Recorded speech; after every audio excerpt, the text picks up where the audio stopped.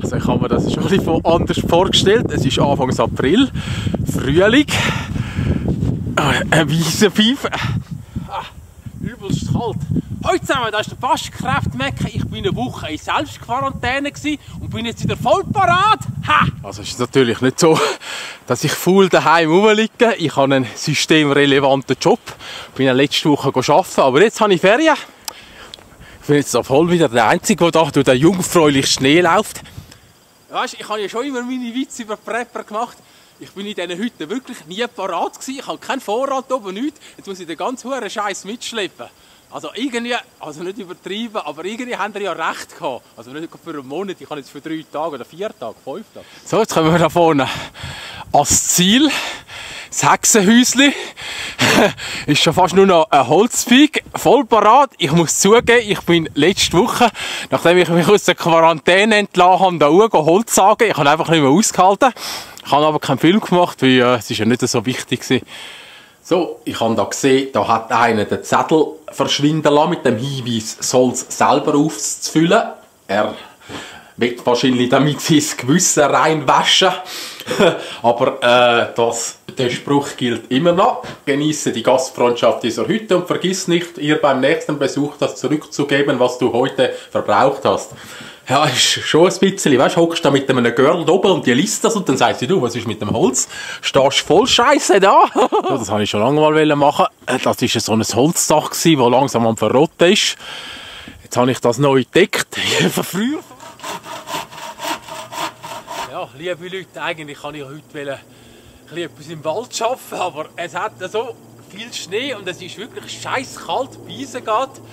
Also allzu viel mache ich dann heute nicht. Und schau, da war einer da und hat seinen Abfall da oben entsorgt. Sehr sozial, Junge. So, die meisten, die ja meine Filme schauen, die sind ja gerne in der Natur und haben der Natur auch Sorge. Jetzt sagt mir einmal, wie kommt man dazu, da rein das Plakat abzunehmen, soll das Holz wieder nachfüllen, wenn man es braucht, und da vor der Hütte da sein Leergut zu entsorgen? Was läuft falsch mit solchen Leuten? Der letzte Wintersturm hat nicht nur grosse Schäden gebracht, sondern auch erstklassiges Brennholz. Jetzt hat es Schnee, jetzt lässt sich das Zeug gut schleifen. Da habe ich am letzten Wochenende Bärlauch genommen. Es ist eine schöne Winterlandschaft. Da hat es noch Bärlauch unter dem Schnee. Jetzt sind wir hier beim vorderen Hütchen. Ich habe das letzte Samstag abdichtet, aber der Sturm vom Sonntag hat es nicht überlebt.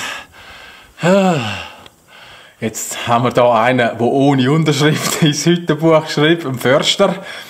Äh, der Sturmschatten ist das Resultat vom defizitären Holzschlag. Das ist der gleiche, der vorne wegen der Maus geschrieben hat. Also ich würde sagen, bleib daheim, bleib einfach daheim. So wirklich so ein Stadtmensch oder so. Lass den Wald in Ruhe. Also wirklich weltfremd. Wunderschön, Frühling. Das ist fertig geschafft. Ich habe dort oben von oben etwas gesehen, wo könnte ein Haus sein. Gehen wir das mal anschauen. Habe ich schon lange. Mal schauen, jetzt bin ich in dem Hügel und finde da so einen geilen Aluminium-Kochtopf. Gehen wir den mal das Loch ab und dann schauen wir, ob wir ihn nachher mitnehmen können. Nein! Jetzt sind wir da oben. Nach hartem Kampf. Das sollte die Hülle sein. Also es hat wie eine Hölle ausgesehen. Gehen wir mal schauen. Von weitem hat das wie eine Hölle ausgesehen, aber es ist nicht einmal andeutungsweise eine Hölle. Ein Blindgänger. Aber der hat sich noch gelohnt. Haben wir noch, haben wir noch etwas gemacht heute? So, ich habe jetzt hier den Topf, den ich gefunden habe. Das ist ein guter Abwäschtopf oder vielleicht im Sommer dann mal ein Gulasch. Wobei im Sommer bin ich nicht viel oben. Vielleicht diesen Sommer schon. So, jetzt sind wir hier im Hütli. Wir haben das Feldbett aufgestellt. Ich habe einen neuen Schlafsack, einen Marmot, imprägnierte Daune. Komfort minus 2 Grad. Also ich habe ihn eigentlich für draussen, für, für die Hütte habe ich sonst meinen normalen Daunenschlafsack. Jetzt probiere ich ihn mal aus. Ja, jetzt habe ich den Tisch ein verstellt. Jetzt ist mal das erste Mal nicht dunkel. Die Laterne brennt nicht. Und das erste Mal Schnee das Jahr im Hütli. Jetzt gerade, wenn ich keinen Schnee will. Ja, wir werden es gemütlich und warm haben zur Nacht. Also es wird warm, minus 3 Grad wird es Nacht. Also warm ist anders. Guten Morgen miteinander. Ich habe jetzt, glaube ich, etwa 10 Stunden geschlafen. Es ist immer noch eiskalt, aber wunderschönes Wetter. Das Morgenessen steht auf dem Tisch. Guten Miteinander. Das ist übrigens meine selber gemachte Brombeerkonfi vom August. Sie hat gehebt und ist gut, also habe ich gut geschafft. Bei der Wasserfassung ist alles vereist. Es ist jetzt wirklich die kälteste Nacht die ich da oben das Jahr verbracht habe. Und es ist Frühling. Also, äh, ich wollte eigentlich so wirklich eine, schöne Frühlingstour machen. Es ist zwar schön, aber irgendwie ist es jetzt zu spät. Es ist wirklich zu spät. Schaut mal die herrliche Frühlingsstimmung an. Vögel pfeifen. Das Bach ist zugefroren. Wunderschön. Also ich habe daheim noch gedacht, ich soll meine Uschanka anlegen. Ich habe es dann gelassen und mich für das leichtere Bär entschieden. Aber ich war ein Fehler. Es ist übelst kalt, es ist sicher minus 5 Grad. Ich habe da wieder einmal ein neues Rucksäckchen gefunden. Es ist ein schwedischer Armeerucksack. Es ist eigentlich ein Bärgans aus den 50er Jahren. Er ist allerdings ein bisschen schwerer gebaut. Und das ist jetzt nicht von der Firma Bergans. Man merkt den Qualitätsunterschied. Also Bergans sind qualitativ einfach besser verarbeitet. Also stabil ist er schon. Ist aber noch cool. Jetzt haben wir da ganz interessante Spuren im Schnee. Entweder ist es ein Vogel oder es könnte auch ein kleiner Saurier sein. Ich habe jetzt eine weitere Spur im Schnee gefunden. Ihr denkt jetzt sicher ein Wolf oder ein Luchs. Aber äh, es ist etwas anderes. So, da der Morgensonne taucht auf. Das nächste Hütli. Eigentlich kann ich da die zweite Nacht verbringen. Aber die Hütte ist massiv grösser und bei diesen Temperaturen nur mit grösser, grösster Energie aufzuheizen. Ich bringe jetzt da noch ein bisschen Holz. Hat der Dani Freude. So schnell einen kleinen Kontrollblick. Es ist noch alles in Ordnung. Holz hat es auch noch ein bisschen. Dani hat gemeint, nicht zu viel sagen. Sonst meinen alles sei Selbstbedienung. Hat er irgendwie Ich sage jetzt doch noch schnell ein paar Rügeli für das, was ich das letzte Mal verbraucht habe. Das letzte Mal äh, Weihnachten mit Frau Bunzel oben gewesen. 12.1. Auf den Spuren vom Baschkraft Mecke. Meno und Simon. Also sie haben eine Buschbox gebraucht. Ja, gut. So, Dani, ich habe jetzt zwei Stämme retour genommen. Also, wenn du noch eine Sage hättest, würdest du nachher sagen, aber mit dem Fuchsschwanz. Keine Chance. So. Schau mal, sogar noch gespalten. So, liebe Leute, genug für heute. Auftrag an den nächsten zusammensagen. Hier ist alles voller Gamsi. Das ist eine der wildesten und abgelegensten Gegenden vom Kanton St. Gallen. Lüchs hat es da hinten. Wunderschön. Der Weg ist da total verbuscht. Und dank, da jetzt das Winter ist, sieht man ihn gut. Im Sommer ist er da ziemlich verdornt. Vorne ist er dann zerfallen. Das ist eine wunderschöne Wegstrecke von dem zerfallenen Weg früher, wo der Berg noch bewirtschaftet wurde, ist, ist der angelegt worden für Kuhli und Geissli. Wunderbar, schauen mal. Das ist jetzt ganz faszinierend. Hat es da den Baum umgerührt. Hat das Dach gegeben. Da vorne kommt jetzt in meinen Augen optisch einer der schönsten Gubbel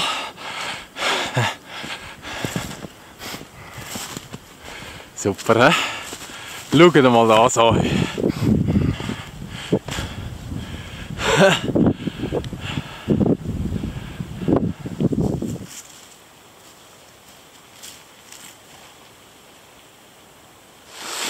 Schauen wir da hinten. Buschkrafters Paradies mit eigenem Frostteich. Könnt da sogar noch baden. Also jetzt gerade nicht. Schaut mal da an. Schauen wir mal, oben der blaue Himmel. Super. Wir suchen jetzt uns den Weg da weiter. Die Weganlage ist zerfallen. Es ist dann relativ heiß da, kann ich dann nicht mehr... Wenn dann die Stelle, die ziemlich zerfallen ist. Ich bin zwar im vorletzten Herbst da drüber gekommen. Also, wenn der Film auf YouTube kommt, dann habe ich es geschafft. Meine Zwischenbilanz. Ich stehe schon in der Hälfte. Jetzt auf der anderen Seite haben sie es geschafft. Man sieht dort schön die Weganlage, die reinführt. Da hinten ist sie leider extrem zerfallen. Wir schauen hier von oben runter in die verblockte Schlucht. Ich bin vor etwa vier Jahren bin ich mal durch die Schlucht durch und vor zwei Jahren bin ich den Weg gegangen. Weiter bin ich dann allerdings nicht mehr gekommen. Meine Meinung ist, so, meine Meinung ist, dass ich in dieser Schlucht da hinten feststecken würde. Darum bin ich jetzt in nicht ganz einfacher Wurzelkletterei da dem Hang rein. So, da hinten bin ich im, letzten, im Herbst vor zwei Jahren schon mal gewesen. Ich bin immer an Stock zu tief, sehe ich gerade. Jetzt bin ich da in dem Stück, wo ich noch nie bin. Wunderschön da hinten. Ich habe gemeint, ich wüsste jetzt, wo ich sage, aber ich bin nicht da.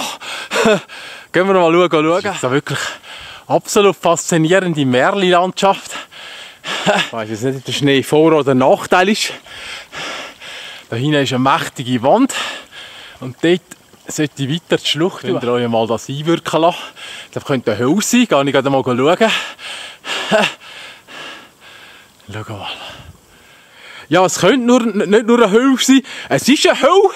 Und zwar die berühmte Christelis Höhle. Vor zwei Jahren von der Ostschweizer Gesellschaft für Höhlenforschung und dem Foxy wiederentdeckt. Juhu! Christian! Höhle hat eine eigene Quelle. Christian war ein französischer Offizier, der von den Bewohnern hier oben äh, versteckt ist.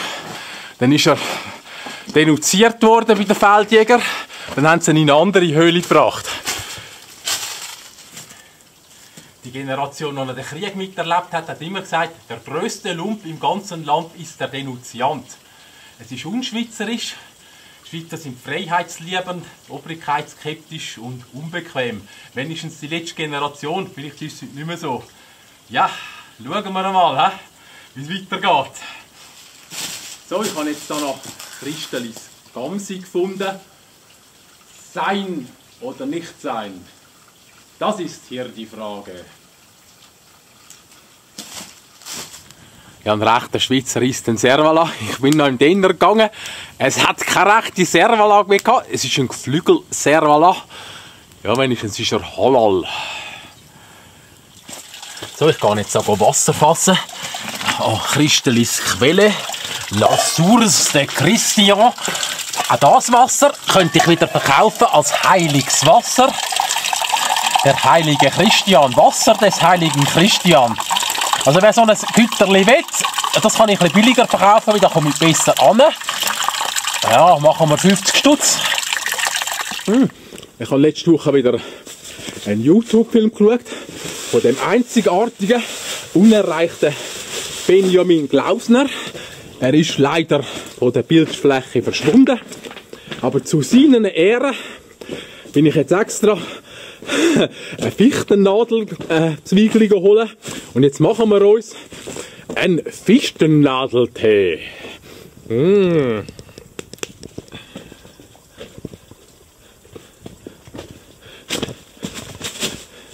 Komm raus mit dem Seich, das suche ich sicher nicht. Hier haben wir Pfeffermünze rein. So, nochmal einen Blick zurück in die mächtige Höhe. Ja, tschüss Christian. Ich habe jetzt vor, da das Doppel darauf zu gehen. Da bin ich noch nie darauf. Jetzt sind wir da schon im ersten Stock. Da haben wir da ganz eine interessante Überwurfshöhle mit Eiszapfen drin. Schön. Stückchen oben kommen wir da ein bisschen draufsteigen. Die Schlucht ist noch lang.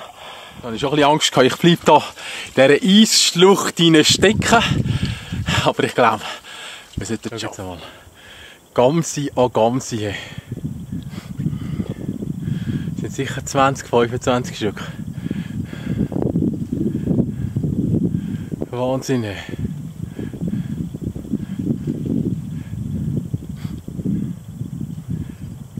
Aber so ein schöner ins frühlingshafte St. Gallerland. Da unten sind wir. Gewesen. Ja, es war ein ziemlich strenger Tag. Es ist jetzt Nachmittag um 3. Ich liege jetzt da noch ein bisschen an der Sonne und lese das Buch, das ich vor zwei Jahren mal angefangen habe. Mal schauen, ob ich irgendwann fertig werde. Also in drei, vier Jahren habe ich es sicher. Ich muss immer wieder vorne anfangen. Morgen miteinander. Es war wieder einmal eine kalte Nacht. Ich habe da das letzte Mal noch eine Latrine gegraben. Ich weiß nicht, ob ihr das wirklich gesehen habt. Das hat mir letztens einer eine gute Idee gebracht. Man könnte eigentlich einmal einen Film machen, wie man äh, den Arsch ohne WC-Papier abwischt. Aber das ist momentan nicht nötig, weil die meisten von euch haben so riesige Vorräte. So, auf geht's. Es ist immer noch easy kalt. Ich bin da schon wieder auf dem Retourweg. Ich habe drei Tage keinen Mensch mehr gesehen. Ich weiß nicht, wie es bei euch unten aussieht. Zombies, vielleicht Panzer auf der Straße. Es könnte sein, dass ich solche Filme gar nicht mehr darf auf YouTube laden weil es das Gefühl von Freiheit und Abenteuer weckt. Lust zum Rausgehen. Schauen wir einmal. Aber ich verabschiede mich jetzt noch nicht. Ich habe noch einen für euch. Da unten ist schon weniger Winter. Ich habe mich da glaube ich in einem Kühlschrank festgesetzt. Es ist extrem ruhig. Vielleicht werde ich gerade verhaftet, wenn ich runterkomme. Mal schauen.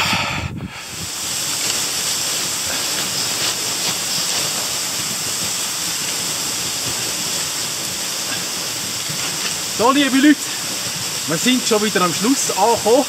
Ich habe euch gesagt, es kommt noch etwas. Das ist der wunderschöne Kuppel, aber ich mache über das einen separaten Film. Es war eine super Tour. Drei Tage ohne Leute. Mal schauen, was mich jetzt wieder erwartet. Bis zum nächsten Mal. Ciao zusammen! So, wenn wir jetzt einmal oben stehen, machen wir ein paar Bilder, wo der schöne, wirklich wilde Kuppel in der Übersicht zeigen. Es hat einen riesigen Wasserfall.